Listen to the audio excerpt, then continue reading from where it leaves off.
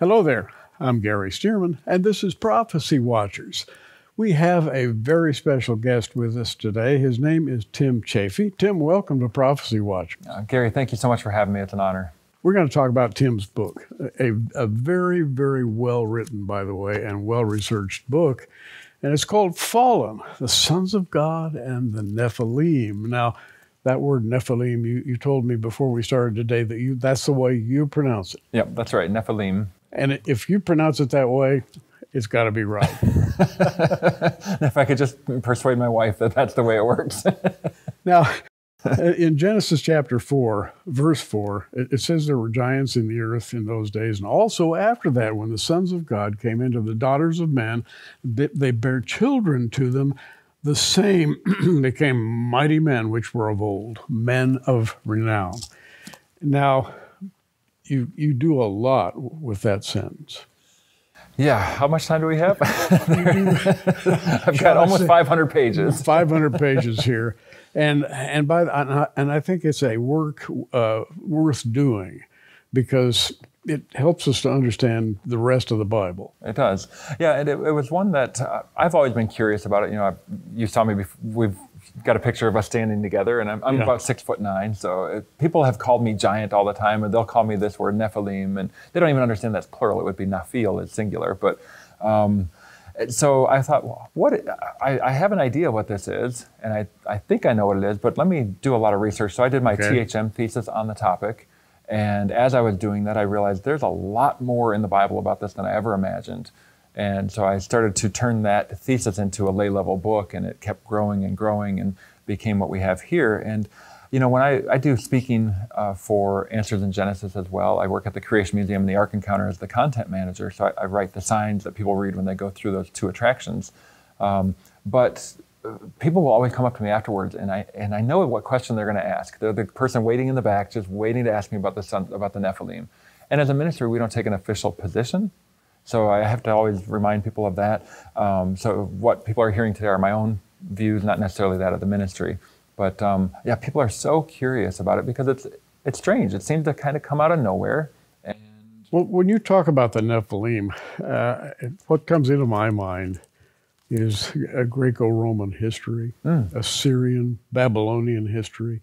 They all had giants yep. and, and, statues of giants, and they had uh, carvings on the, the, walls of their edifices with the giants. And the, you, we've all seen the, the carvings uh, uh, showing human beings bringing gifts, and they're about this tall, and, and, the people to whom they are bringing the gifts are about this tall. The, and we remember the Bible talks about giants, you know, and we remember re, we remember Goliath and, and other things, and we, we say, okay, how does all this fit together?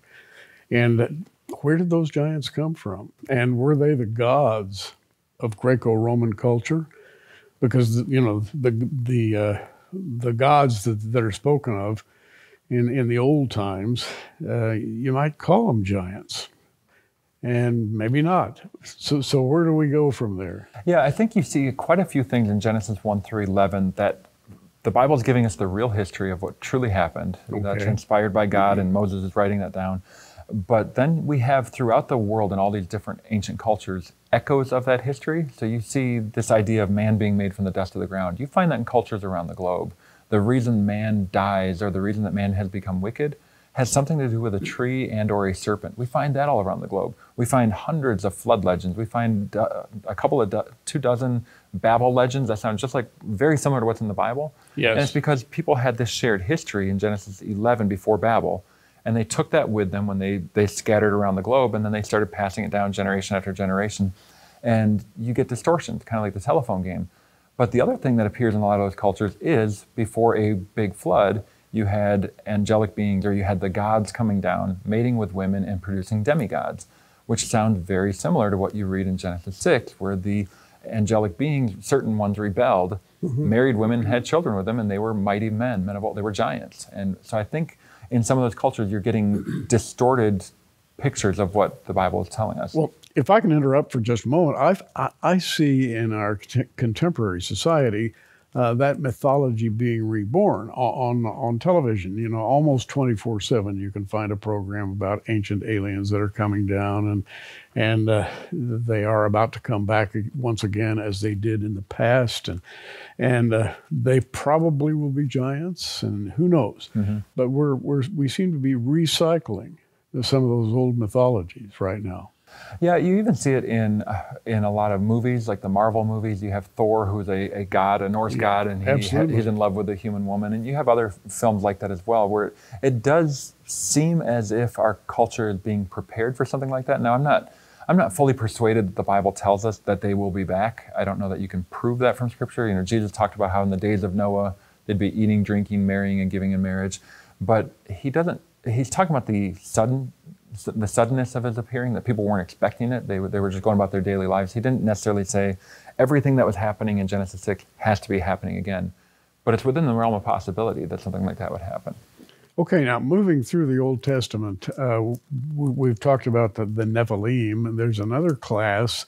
And I remember when uh, Abraham had a great battle uh, with the four kings. Mm-hmm. And and in that battle, mixed in and around and, and through it, were uh, were other giants, giant giant uh, cultures. The Emim and the Zuzim. Emim yeah. and Zamzumim yeah. and Zuzim and all of those people. Uh, where, where do they fit with Genesis 4? So, uh, with Genesis 6, they, so the Bible tells us in Genesis 6 4 that. Genesis 6 yeah, 4. It tells us that, that the Nephilim, the giants, were on the earth in those days and also afterward. And the next word is so key to understanding that a lot of our Hebrew grammars uh, will tell us that next word should not be translated as when, but whenever. And if you understand that, that passage becomes so clear. It's telling us, mm. Moses is telling us the Nephilim, the giants were on the earth before the flood and also after the flood, whenever the sons of God did this. So, in other words, they did it before the flood, they did it after the flood. So the giants were about, they came around after the flood because the sons of God did this again. These angelic beings did that same sort of activity. And so you do have these giant clans. And you know what? Genesis 14 is that chapter when people say, uh, people have asked me, do you ever wish there was more in the Bible? Yes, I wish Genesis 14 was twice as long. I want to know not just how, I know how they came about, but yes. how do they lose?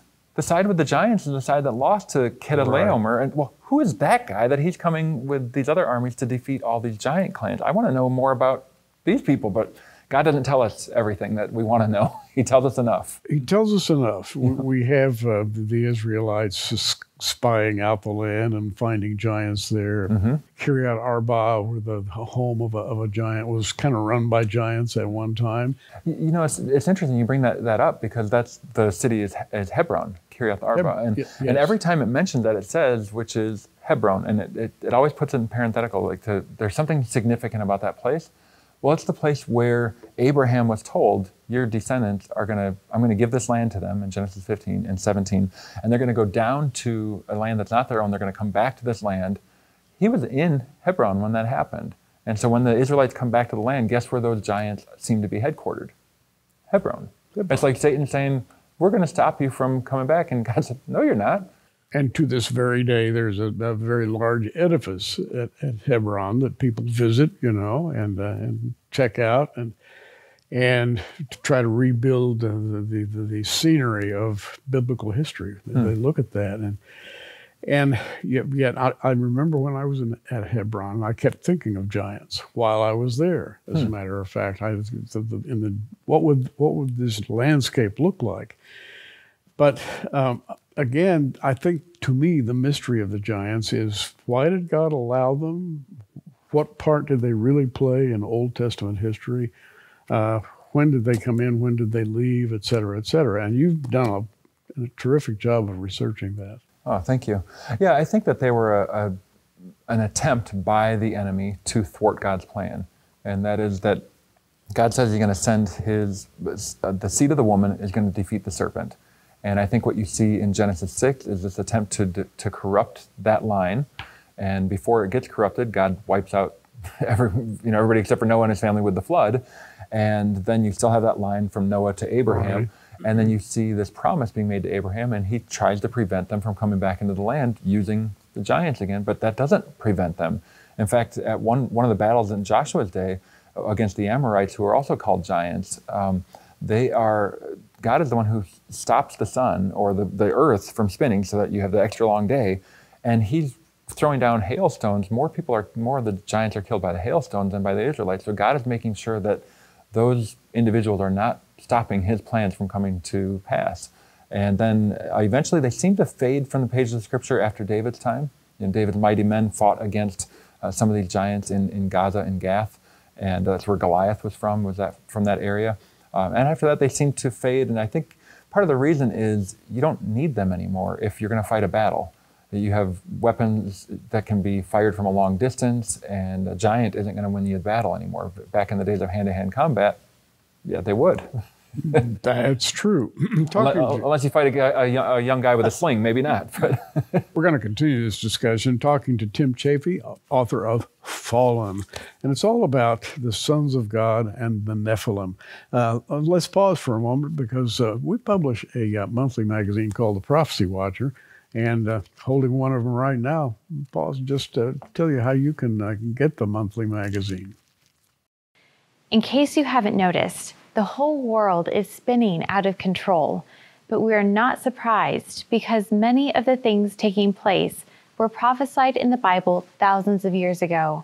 That's why we want to offer you a very special subscription to our magazine, The Prophecy Watcher, that will keep you on the cutting edge of Bible prophecy. Stay informed on prophetic world events. Follow the nuclear threats from Russia and Iran.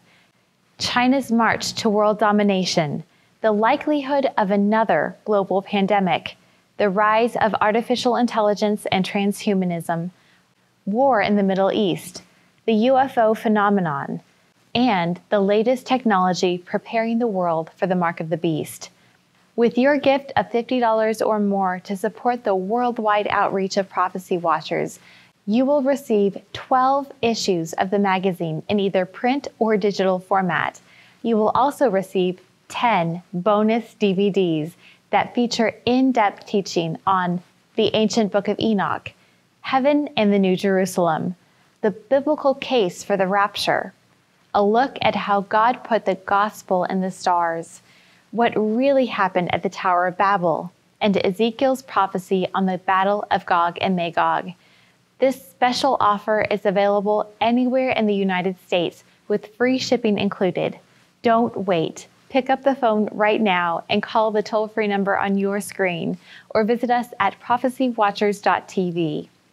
Stand with us today and help us take the message of Christ's soon return to the whole world. And welcome back.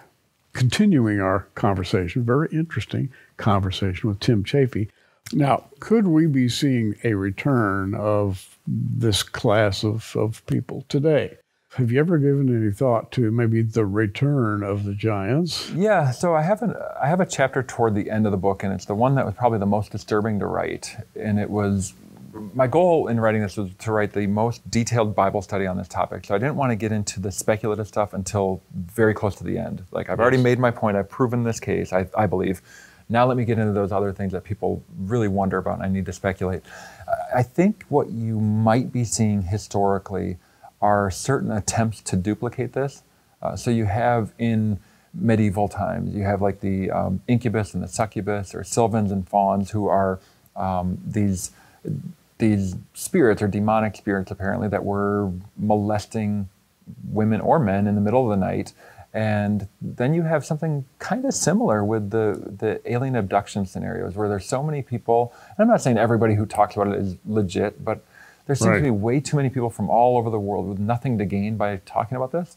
Um, but they claim to be abducted, they claim to be probed some you know it, it, in ways that have to do with sexual activity and there always seems to be an emphasis on that maybe it's just to terrorize them that would that would seem to work.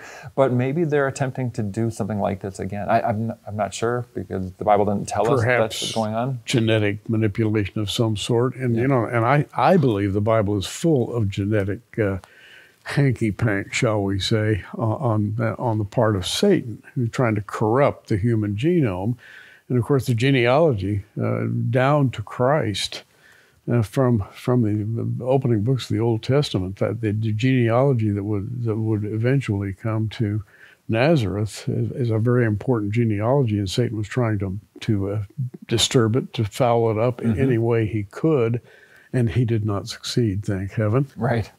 but again, there, there's this genealogical uh, stream of information that runs through the entire Bible all the way to the end, and it strikes me, and I and, and it was stimulated by your book in a way, even even more so, that Satan is in the business of mangling the human genome, mixing it up any way he can, destroying it, disturbing it, and that maybe these sons of God had a part in that, or they were a byproduct of it.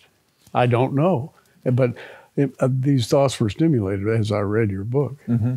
Yeah, I believe that he's doing whatever he can to corrupt humanity. Um, I don't think that we should be shocked that he's been doing this from the very beginning, doing what he can to corrupt humanity. And I think as Christians, we've become so comfortable in the West with thinking that the devil really can't do anything. Mm. He's just, okay, yeah. he's a liar, and maybe he'll tempt you to do a few little things, but no, he's a deceiver. He's deceiving nations, and I think we're we're reaping the whirlwind, so to speak, in our culture right now. But not only is he a deceiver, he apparently tampers with human beings and tries to destroy God's plan. Mm-hmm. And he's still in that business, which is an amazing thing, and really shows up when you uh, when you study this subject. Yeah, I agree. Uh, he's he's done it. He's done it throughout the Old Testament. You see it in other areas today where he's trying to stop God's plan from coming true. Look what he's been trying to do, do to the Jewish people throughout history. Yes. And God has made this promise to the Jews that you know that that He's going to return to that land, and they're going to be in that land and he, the, the, all Israel shall be saved. Romans 11, 26 talks about. But if he can, if the enemy can wipe out all of the Jewish people, well, that can't come true. And he sure seems to be trying, um, but he won't succeed. He will not succeed. And that, of course, we know that's one of the articles of our faith. But again, the idea of uh, the sons of God and the Nephilim is a huge idea that runs all the way through the Bible. And even into uh, the epistles and, and the book of Revelation, I think, because these these individuals in the book of Revelation and, and their offspring are are released uh, during the time of tribulation, and you see them sort of making a comeback. Yeah, and just as before, they're going to be put down. So whatever, whatever, whatever the enemy tried to do, I mean, he, he's going to succeed in corrupting a lot of people and deceiving a lot of people and harming and and leading people to a Christless eternity. But ultimately, he will fail because the Bible is very clear on this point that that God is going to be victorious. Now, you, and I'm going to look at the uh, table of contents here, and just to give you an idea of what's in this book. Uh, the view of, the, of these uh, these beings, the Sethite view, the royalty view, Psalm 82, the divine council. You, you know, it's and uh, the fallen angel view. You give several views of that, and then you move away from the fallen, fallen angel view, uh, and you ask the question in one chapter: Do angels have the ability to procreate? I'm trying to give give you a, an idea of uh, of what Tim's writing about, and really you cover a, a huge area. That, that was my goal. As I mentioned, I wanted it to be the most detailed Bible study. So rather than just stating, here's my position, take it or leave it, it was here are the other views that are out there the, the Sethite view, the royalty view. Give them a fair hearing, show the, yeah. the arguments against them, why they, I believe that they fall apart, why they don't hold up, and then give my view and the arguments for that view but I also have five chapters of arguments against the fallen angel view, and I think it can answer all of them. Hmm. Um, but there are a lot of people who raise objections, and I wanted to make sure all of those were heard. And I, am pretty sure the book will include many that people haven't even heard before because I've been hearing them for a long time. I thought, well, that's going into the book.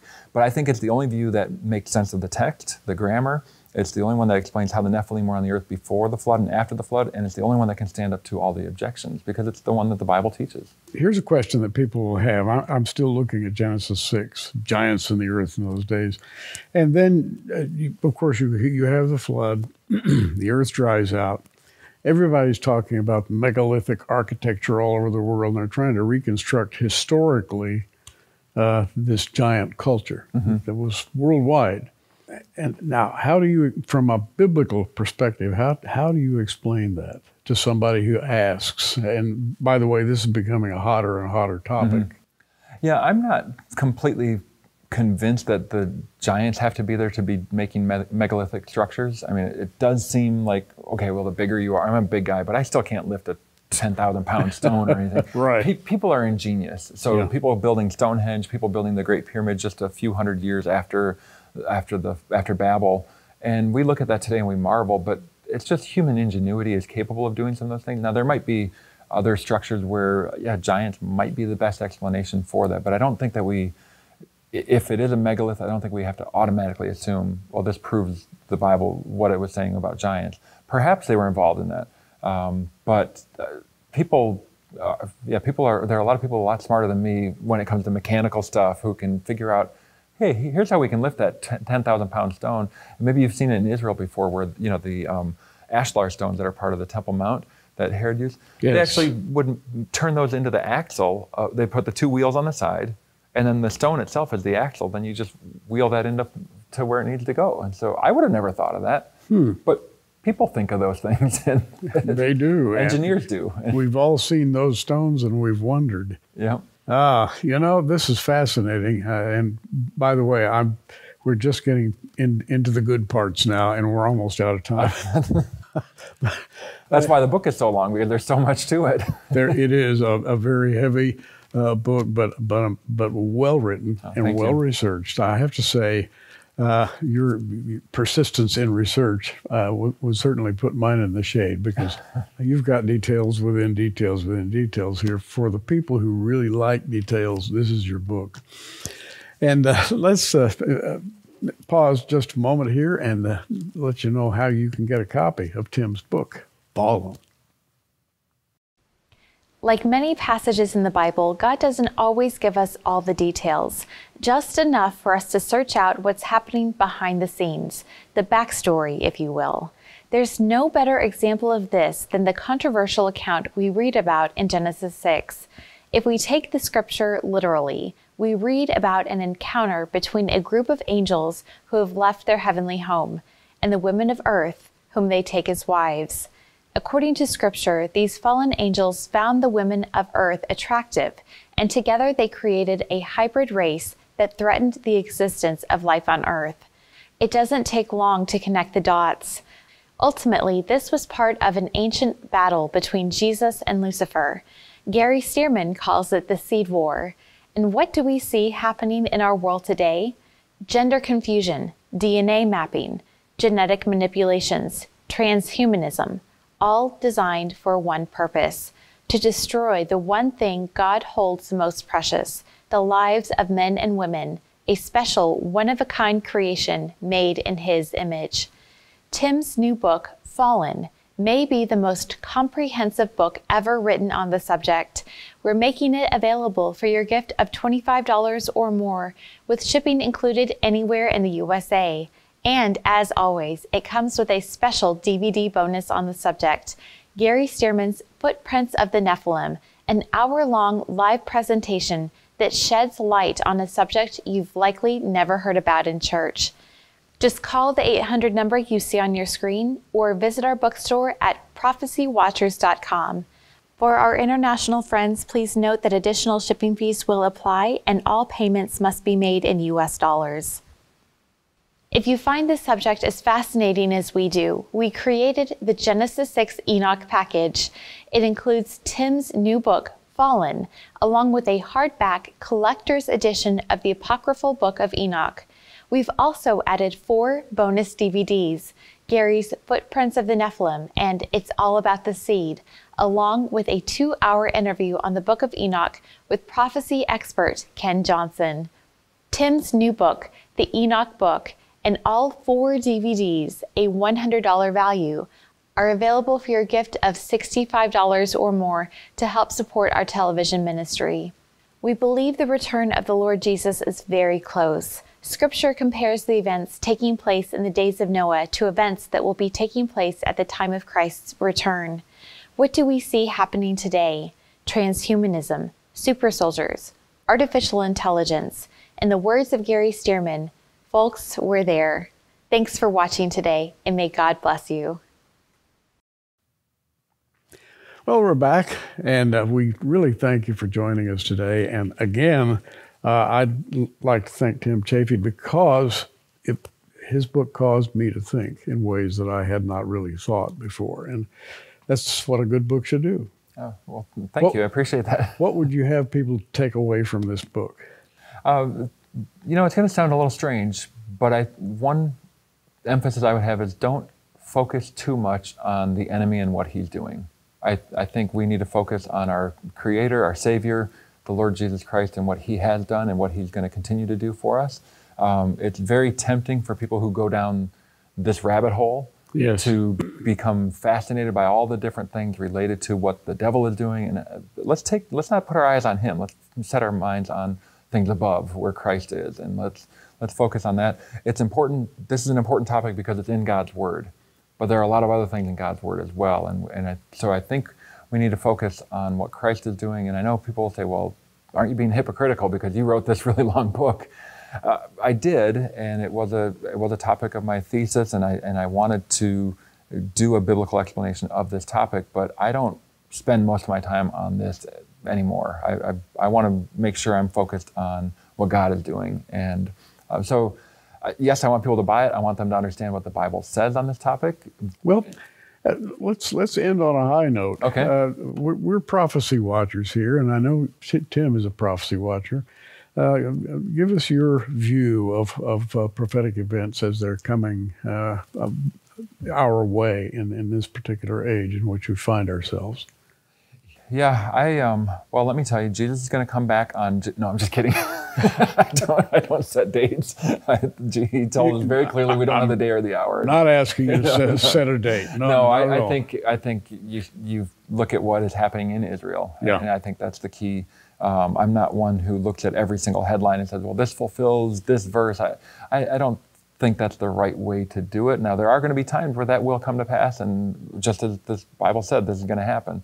But I think you look at how the the world seemed to continually turn against Israel, and it's just. Um, I'm not saying they're perfect and that we should back every single thing that their government ever says that they're supposed to do. But as Christians who serve a Jewish Messiah, who's uh, followed the teachings of the 12 apostles who were all Jewish, and uh, I think that we need to remember that uh, Paul said the gospel went to the Jew first and then to the Gentile, and it is for the gospel for both Jew and Gentile.